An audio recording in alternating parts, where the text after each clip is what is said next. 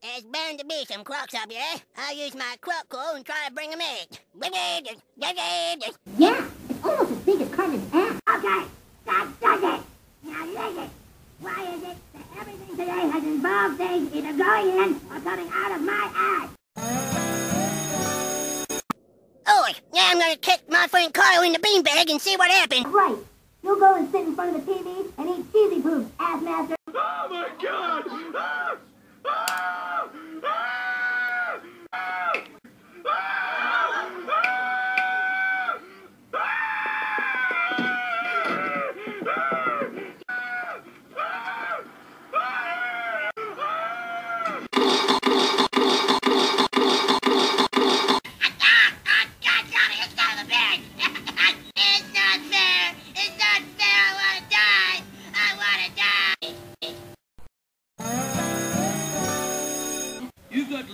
Respect your little friends. You're gonna have detention for two weeks.